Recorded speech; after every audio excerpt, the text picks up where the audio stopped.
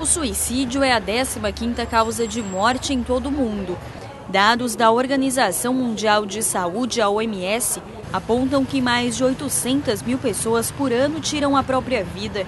Esse número é maior nos homens. Na pesquisa mais recente realizada pela OMS em 2012, quase 10 mil pessoas do sexo masculino cometeram suicídio, contra pouco mais de 2 mil mulheres. E isso pode estar relacionado a alguns fatores. A depressão é a principal causa, seguida pela esquizofrenia e a dependência química.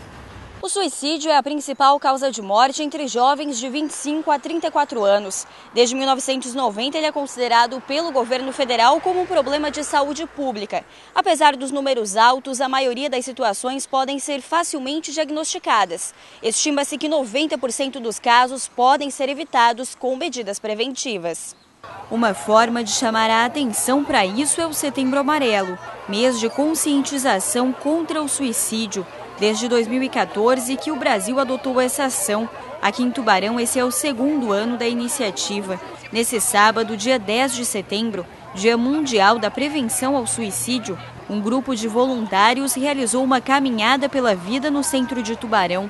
Com camisetas amarelas e brancas e muitas faixas, eles chamaram a atenção de quem estava passando pelo centro da cidade.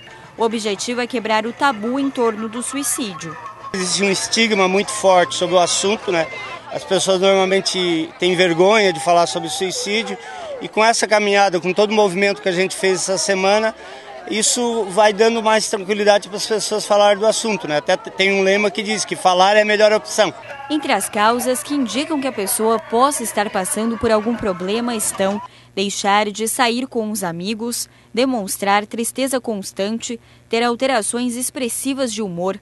Por isso, durante esse mês, é feito um alerta sobre as pessoas observarem quem está à sua volta mas nós fazemos a cultura de uma vida melhor para todos nós, falarmos das questões emocionais, é, falarmos do quanto é importante nós ouvirmos as pessoas, escutarmos as pessoas, olharmos o outro, isso é fundamental.